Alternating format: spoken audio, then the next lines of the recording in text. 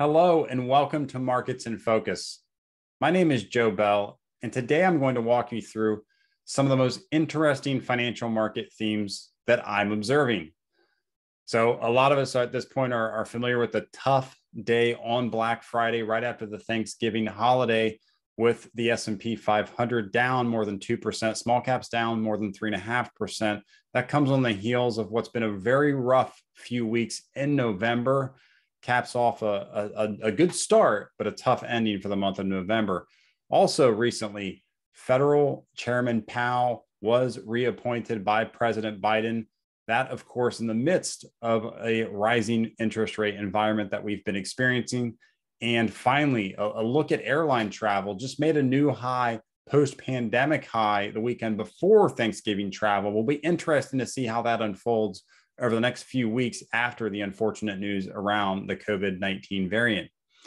Now, as I mentioned, during the month of November, you see there in the first column for each respective segment of the equity markets, and all the way at the bottom, the ag, that's the Bloomberg Barclays US Ag Bond Index. From the beginning of October through November 8th, and of November 8th, of course, was when the S&P 500 peaked, along with some of the other major market indices. We saw most segments of the market led by small caps, but good participation across the board from large cap and small cap equities, all very, very positive. Even bonds slightly positive, despite that that that sort of rising rate environment as it's kind of grinded higher during or sideways during that period. But a complete reversal since then. Some of that was giving back that strong breakout that it experienced during the first week of November, but it extended dramatically during Black Friday after I mentioned earlier the, the, the jump in fear around the new variant from COVID 19. Um, some of that spotted not thus far over in the United States, but internationally. Only a few cases so far, but we begin to see the European Union react very strongly. So it'll be interesting to see how that impacts consumer sentiment, not only globally, but domestically as well. We've already seen it impact stock markets quite dramatically on Black Friday, with, as I said, the, S- the, the Russell 2000 small cap index leading the way lower north of 3.5% gap down on Thursday through Friday. Now, as I mentioned earlier as well, federal Chairman Powell, Federal Reserve Chairman Powell, was reappointed by Biden. There was some talk for months about the rising odds of Brainard perhaps unseating Powell, but that was not the case as Biden sort of uh, kept it a uh, continuation of the chairman uh, that we've had during the past several years. He did appoint Brainard to a new vice chair of the committee, so a bit of a promotion for her and puts her into perhaps a better position for a chair seat down the line. Um, and also, if you look at it over the next coming months, we would expect Congress to approve these. Appointment would not officially happen till February, and there's still three seats remaining that Biden will potentially fill here over the next few months. Some expecting these to be perhaps a little more um, strong on financial regulation, which was sort of Brainard's um, theme, along with potentially tougher on climate change. So keeping Powell in place, but potentially putting in some more members that are a little bit more in alignment with uh, Biden's policy from the from the White House.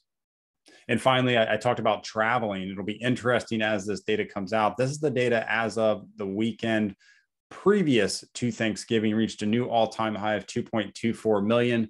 Um, Thanksgiving, obviously, a big weekend for travel. It's going to be somewhat impacted by COVID, but we would expect travel to obviously pick up from the previous weekend but you throw in that unexpected jolt of uh, fear around COVID 19. It will be interesting over the next month to see how that unfolds and impacts uh, not only actual sanctions from companies or quarantine measures and things like that, but consumer sentiment and consumer behavior. Or even if we don't see shutdowns and things like that, I think it, it does definitely impact consumer behavior and sentiment around the US economy and the global economy as well.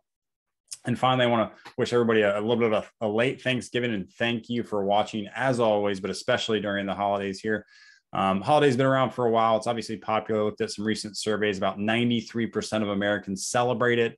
Holiday's been around since the late 1800s when it was named a holiday by President Abraham Lincoln. Of course, it originally started all the way back in Plymouth Rock with a sort of a combination celebration between the settlers and the Native Americans in that area celebrating the, the, the wonderful harvest from the crops that they have been growing all year and sort of a celebration for this harvest and the, the food that they were going to have to, to, to serve them throughout the winter. So people do still celebrate it for those reasons. But of course, the surveys say 73% celebrate it for the fact that if they host, they will have leftovers. So um, things have changed, but I think people do generally get out there and celebrate and spend time with friends and family. I'm sure a lot of you did as well. So from um, from Meeder and myself, I want to again thank you for your continued viewership and your partnership. Thank you very much and have a good day.